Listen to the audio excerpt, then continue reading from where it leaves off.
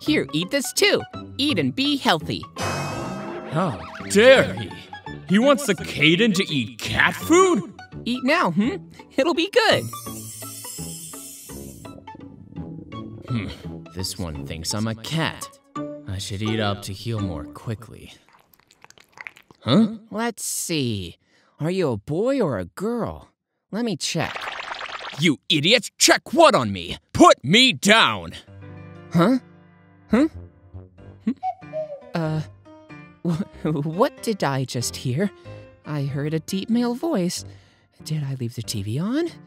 What? Put me down, can't you hear? Huh? Want me to punch another hole in your head, huh?